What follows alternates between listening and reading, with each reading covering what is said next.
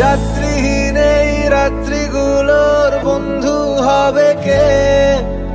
শীতের বোতাম আটকে নিয়ে সঙ্গী হবে কে?